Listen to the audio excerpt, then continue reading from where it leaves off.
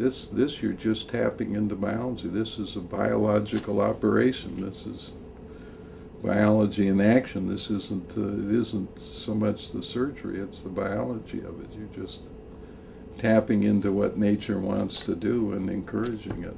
And then that's what makes it so effective.